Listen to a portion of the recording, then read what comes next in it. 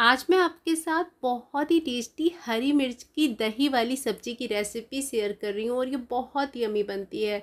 तो चलिए बनाते हैं दही वाली हरी मिर्च की सब्ज़ी। Welcome to Amazing Kitchen Recipes अगर अभी तक आपने हमारे चैनल को सब्सक्राइब नहीं किया है तो प्लीज़ कर लें।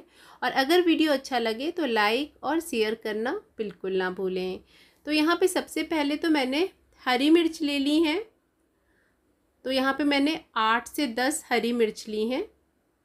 और ये मुझे लंबी वाली हरी मिर्च मिल गई हैं। ये भी लेकिन तीखी होती हैं, थोड़ा कम होती हैं। तो बस हरी मिर्च में अब इस तरीके से चीरा लगा लेंगे। तो बिल्कुल इस तरीके से आपको चीरा लगाना है। तो यहाँ पे मैंने सारी हरी मिर्च में चीरा लगा करके तैयार कर लिया है। और कुछ मिर्च ऊपर से ख़राब हो गई थी तो उन्हें इस तरीके से कट कर लिया है, फिर चीरा लगा लिया है। कढ़ाई में डाल रही हूँ चार से पाँच बड़े चम्मच सरसों का तेल। तेल को गर्म होने देंगे तो तेल को मैंने धुआँ निकलने तक गर्म किया है और इसमें डाल रही हूँ आधा छोटी चम्मच कलौजी, साथ में एक छोटी चम्मच जीरा, इसी के साथ में एक चौथाई चम्मच मैं इसमें डाल रही हूँ हींग, थोड़ा सा सौते होने देंगे सारी चीज़ों को। और अब इसमें मैं डाल रही हूँ अदरक और लहसुन क्रश करके तो सात से आठ मैंने लहसुन ली थी, थोड़ा सा अदरक लिया था और कूट लिया था उसे। तो अब इसे भी थोड़ा सा सौते कर लेंगे जब तक जब तक कि हल्का सा कलर ना चेंज हो जाए। तो देखिए, जब इस तरीके से कलर चेंज हो जाए ना, तब इसमें डाल देंगे मिर्च। अब मिर्च को अच्छे से भून लेंगे, थोड़ा दूर से ही आप भूनिएगा मिर्च को, क्योंकि मिर्च क्या होती है ना, चटकती है जब तेल में जाती है। वैसे जब अच्छे से आप चीरा लगाते हैं तो मिर्च कम चटकती है, फिर भी आप थोड़ा सा गैस से दूर रहिएगा। तो इसे इस तरीके से भूनेंगे, अच्छे से भूनेंगे, फ्लेम मीडियम रखेंगे, मीडियम फ्लेम में इसे अच्छे से भून लेंगे। लगातार चलाते हुए इस तरीके से। तो यहाँ पे मिर्च भुन गई है, इसे निकाल लेते हैं। तो यहाँ पे मिर्च को फ्राई करते समय आपको एक बात का ध्यान रखना है कि आपको मीडियम फ्लेम में ही मिर्च को फ्राई करना है। बहुत ज़्यादा अगर हाई फ्लेम में मिर्च को फ्राई करेंगे तो मिर्च अच्छे से फ्राई नहीं होगी। तो यहाँ पे मैंने मिर्च को फ्राई कर लिया है।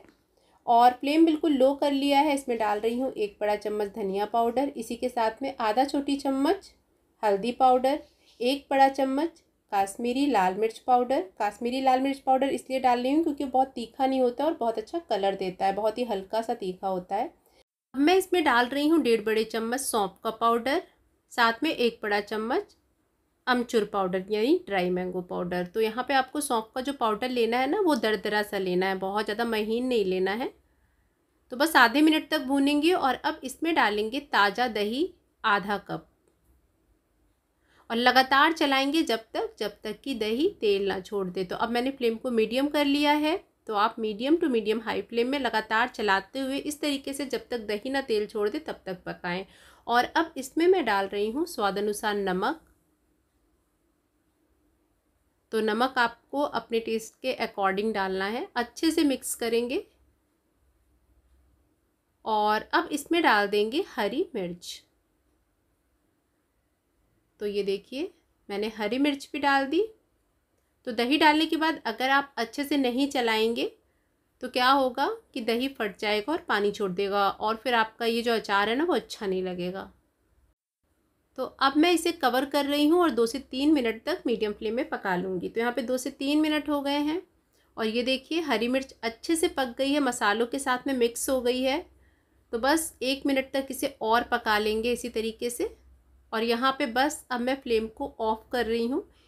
तो तीखा चटपटा बहुत ही टेस्टी झटपट बनने वाला हरी मिर्च का अचार बन करके तैयार है। आप इस रेसिपी को ज़रूर ट्राई करिएगा, आपको बहुत पसंद आएगी। और अगर आपको हमारी रेसिपीज़ अच्छी लगती हैं तो आप अमेजिंग किचन रेसिपीज़ को कर लें सब्सक्राइब अगर आपको वीडियो अच्छा लगा हो तो लाइक और शेयर ज़रूर करें। साथ में कमेंट करके ज़रूर बताएँ कि आपको हमारी रेसिपीज़ कैसी लगती हैं। Thank you for watching video